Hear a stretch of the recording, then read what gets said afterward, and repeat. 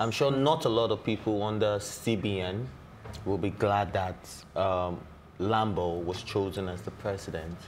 So, what's your relationship like with all of them? Do you? The thing is, you know, the thing is, the guys don't even see me as their boss, quoting, Mm, quoting. sure. Yeah. So, so um, we have like a really like amazing relationship. Like if you, if you look through the comments on a lot of their pictures, you see like banter between us. You know, sometimes I'm just like shaking my head at their posts, you know, and sometimes I'm just like, um, I'm done with you, you know. So so like we have like you know I said like I host them games night, you know.